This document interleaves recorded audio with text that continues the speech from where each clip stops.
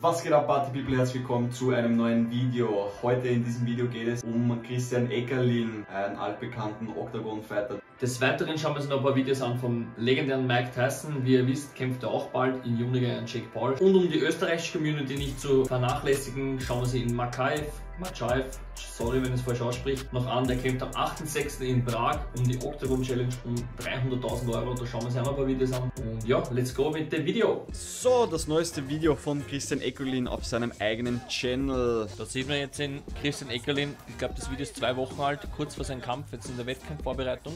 Wir haben ja auch schon mal ein Video gemacht mit dem Christian Eckerlin, wo er gegen unseren Kollegen Edmond ein Sparring macht. Boom! Granaten. Wahnsinn. Vielleicht, was die meisten, manche Leute nicht wissen, Christian Eckerling kämpft auf Catchweight auf 80 Kilogramm. Normalerweise kämpft er auf 84 Kilo.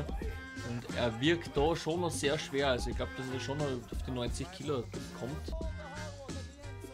Heißt das Conor McGregor, oder? Kurz glaubt.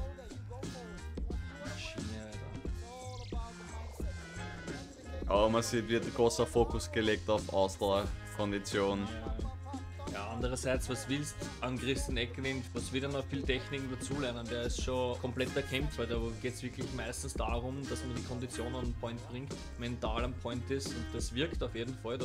Ich bin so mein größter Kritiker selber, so weißt du? Alle sagen auch so gut, aber ich fand's noch nicht so gut irgendwie. Manchmal guckt man auf den Spiegel und sieht, man ist dünn, aber dabei ist man ganz dünn. Weißt du, was ich meine? Deswegen, vielleicht, äh, keine Ahnung. Mal gucken. Kenne ich Man gut. ist selber immer der größte Kritiker, Kenn aber ich ist gut. so. Also. Ja, kenne ich gut. Ah, wirkt schon auf jeden Fall leicht jetzt. So ohne Level, ohne T-Shirt hat er jetzt schon ein bisschen den Gesicht merkt man bei ihm, dass er schon abgenommen hat. So, Tag 2, wir beginnen mit Laufen, danach geht's äh, auf die Tele Convention und dann ins Stadion. Ich muss erstmal pissen wie ein Esel. Vielleicht schon Waterlogen. aber wenn dann so, so ekelhafter Wind noch dabei ist, kann es ekelhaft werden. Was jetzt machen? Heute Ziel ist wie immer Vollgas. Wir haben noch zwei Wochen bis zum Kampf. Heute packen wir noch einen drauf und fertig. Das ist so ein witziger Kerl, der Eckerlin. Auch sympathisch, mag ihn. Wir sind draußen auf der Bahn, arbeiten wieder an der Ausdauer. Wir machen die Intervalle heute, 400 Meter Intervalle, 4x400 und danach Sprints. Das heißt, die Intervalle, das ist Boah, auch im Regen. Ja, das sieht man auf jeden Fall jetzt noch an Konditionstraining. Christian wirkt auf jeden Fall fit. Bin schon gespannt, ob wir jetzt noch ein Video die nächsten Wochen kriegen.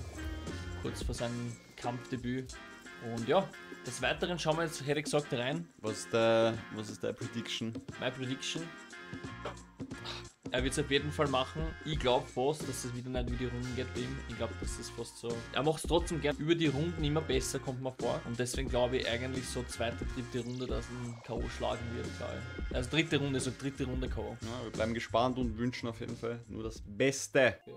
57 Jahre Mike Tyson. Man sieht noch immer Maschine. Ja, da sind wir jetzt in Mike Tyson in ein paar neuere Videos.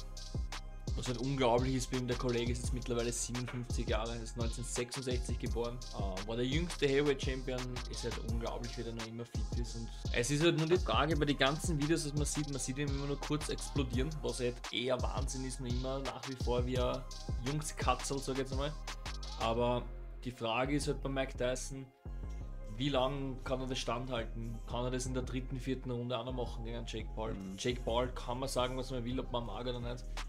Der ist ja trotzdem eine Maschine, der trainiert Tag und Nacht. Der hat sich wirklich zu einem richtig guten Profibox entwickelt. Und Und man darf halt aber auch nicht vergessen, Mike Tyson seine Prime war halt trotzdem in einer Zeit, wo ein Jake Paul noch nicht einmal auf der Welt war. ja, das ist Also da sind schon Levels dazwischen. ja, das Alter vor allem. Glaube, technisch gesehen ist der Mike Tyson da noch immer weit vorne, aber es ist halt. Aber interessant, aber irgendwie was nicht. Ich muss ehrlich sagen, ich finde den Kampf jetzt nicht so geil, dass der veranstaltet wird, dass es passiert. Ich bete zu Gott, dass der Mike Tyson da nicht irgendwie K.O. geht oder so. Es war aber. Das ist ja das Ding, innen ganz tief innen drin wissen wir, dass der Jake Paul das Potenzial hätte, Mike Ja. Tyson noch vielleicht sogar auszunocken. Ne? Und das will keiner sehen. Aber deswegen umso besser wäre es, wenn es umgekehrt ist. Stell dir vor, Mike Tyson knockt den Jake Paul aus. Ich meine, stell dir Ja. mal das vor. Das wäre schon witzig dann, würde ich schon feiern. Ja, auf jeden Fall gespannt, trotzdem. Und ich hoffe, ich hoffe, Mike Tyson macht das Ganze. Ja. Schauen wir uns mal kurz aus Clips an. Ich denke mir immer wieder, der, der Pet Bowler von Mike Tyson tut mir schon ein bisschen leid irgendwie. Ja. Immer durch den Ring geprügelt. Ah, schau, das sieht man sogar. Der. Hat schon einiges durchgemacht mit ihm, glaube ich. Okay, Prediction. Prediction. Okay, sag meine zuerst. Also, Prediction, es wird auf jeden Fall kein Knockout geben. Bin ich mir ziemlich sicher. Ich glaube, das wird über die Runden gehen und dann vielleicht, keine Ahnung, Draw oder. Wenn es über die. Weiß nicht, wenn es kein Draw oder Unentschieden wird, dann kann, kann ich mir sogar vorstellen, dass es an Jake Paul geht, weil der vielleicht sogar der aktivere Fighter sein wird. Meine Prediction ist, er beißt einen Jake Paul das zweite, also das andere wow. So, und jetzt wie versprochen noch unser österreichischer Kollege Mohamed Machachev. Ah. So, und jetzt wie versprochen noch unser österreichischer Kollege Mohamed Machaev. Äh, 24 Jahre jung, nennt sich The Beast und hat einen Fight-Rekord von 14 zu 1. Kämpft jetzt in Prag im Halbfinale für Tippsport 300.000 Game Changer Event für Octagon. Und da sehen wir jetzt seine Highlights von seinem letzten Kampf bei Octagon Challenge. Also ich habe den Kampf schon gesehen, sehr starke Leistung für ihn gewesen. Und jetzt schauen wir ein bisschen rein. Uh, schöner Takedown. Versuch. Uh! War in einem Kimura, in einem komischen Kimura drinnen. Einen sehr starken Gegner gehabt. Da den Dusk Choke. Uh, schön rausdreht, sehr schön. Ja, unglaublich starker Fighter, eben schon mal selber kämpfen gesehen. Äh, er trainiert die meiste Zeit in Bali, was ich weiß. Bereitet sich für die Kämpfe dort vor. Wobei ich glaube, dass der Main Coach oder Head Coach, der Roberto, Passt durch. Hm, durch ich, glaub- ich bin mir jetzt nicht. Uh, schön! Da hat er, da hat er ihn schon Oh. gehabt. Wahnsinns K.O. Schau. Boah, schöner linker Hack, ne? Und dann mit Ellbogen irgendwie rauf und Oh. perfekt nachgegangen. Ja, sehr stark. Ich bin gespannt, ob er das macht. Geht es um 300.000 Euro, das ist wirklich viel Geld. Meiner Meinung ist er momentan nach dem Rakic der interessanteste und erfolgreichste Kämpfer momentan aus Österreich. Also, Wobei, es gibt noch einen zu den Ibo Demir Aslan. sorry, Ibo Aslan stimmt, den habe ich vergessen. Ibo ist ja mittlerweile auch in die UFC und hat ein- ein Wahnsinnsdebüt hingelegt. Und ja, da haben wir mittlerweile jetzt eh schon ein paar Leute, gell, was wirklich was reißen. So, das war's mit dem Video. Ich hoffe, es hat euch gefallen. Äh, schaut, dass auf jeden Fall unseren Kollegen aus Österreich und aus Deutschland supportet. An Mike Tyson könnt supporten. Vielleicht folgt er euch ja zurück. Auf jeden Fall bis zum nächsten Mal. Peace out.